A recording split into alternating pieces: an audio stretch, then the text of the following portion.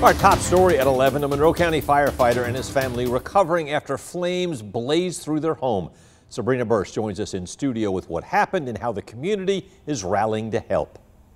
That's right, Frank. Dean Comer is used to fighting flames around the county, but today he responded to his own house fire. I made a playroom for the kids. Corrine Comer remembers what her house looked like before a fire scorched it on Friday around noon. She found irony in that her husband, Dean Comer, is a firefighter in Monroe County. He found it really odd to be on the receiving end of what he does daily in his life. She called this home for about 15 years with her four children.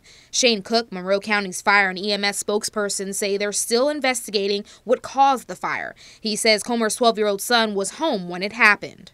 They transported him to the medical center uh, for smoke inhalation, uh, but he has since been transferred to the burn center in Augusta. I'm not sure how we're going to explain to the little ones, you know, about our house.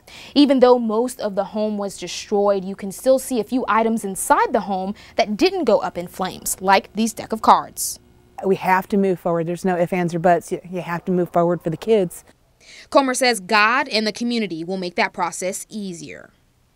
Just the love that everybody's shown just means the world. The family is currently staying in a hotel and this weekend Monroe County firefighters are accepting donations for the family at a station in Bolingbroke. Frank, back to you. All right, Sabrina, thank you very much. The family is asking for Visa and other gift card donations so the family can buy what they need. You can drop those items off between 10 a.m. and 6 p.m. at the fire station on Rivoli Road.